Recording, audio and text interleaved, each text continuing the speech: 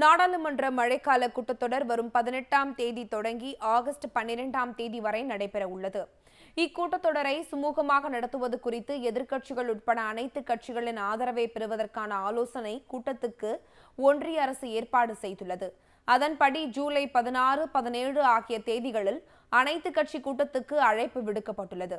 இந்நிலையில் நாடாளுமன்ற உறுப்பினர்கள் பயன்படுத்தக்கூடாத வார்த்தைகளின் பட்டியலை மக்களவை மற்றும் மாநிலங்களவை செயலகங்கள் வெளியிட்டுள்ளன.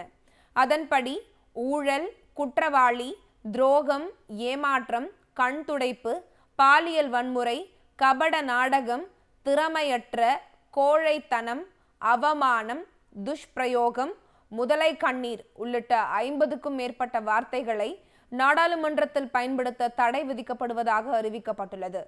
நாடாளுமன்ற உறுப்பினர்களுக்கு அனுப்பப்பட்டுள்ள புதிய விதிமுறை புத்தகத்தில் இவ்விவரங்கள் தெரிவிக்கப்பட்டுள்ளது.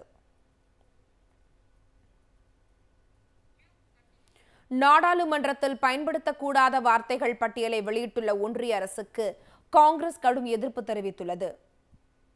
இதுகுறித்து ட்விட்டரில் பதிவிட்டுள்ள காங்கிரஸ் பொதுச் செயலாளர் ஜெய்ராம் ரமேஷ் மோடி அரசின் உண்மை தன்மையை விவரிக்க எதிர்க்கட்சிகள் பயன்படுத்தும் வார்த்தைகள் நாடாளுமன்ற மரபுகளுக்கு எதிரானவை என அறிவிக்கப்பட்டுள்ளதாக தெரிவித்துள்ளார். இதன் தொடர்ச்சியாக உலக போதகரின் நடவடிக்கை என்னவாக இருக்கும் என்றும் அவர் கிண்டலாக கேள்வி எழுப்பியுள்ளார்.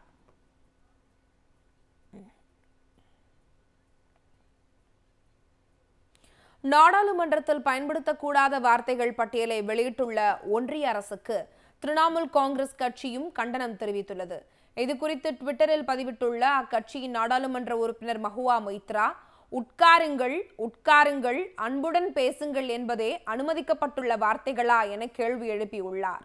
நாடாளுமன்ற மரபுகளை மீறிய வார்த்தைகள் பட்டியலில் சங்கி என்ற வார்த்தை இடம்பெறவில்லை என்றும் இந்தியாவை பாஜகவினர் எப்படி சீரழித்து வருகின்றனர் என்பதை விவரிக்க எதிர்க்கட்சிகள் பயன்படுத்தும் வார்த்தைகள் அனைத்தையும் ஒன்றிய அரசு தடை செய்துள்ளதாகவும் மஹுவா மொய்த்ரா விமர்சித்துள்ளார்.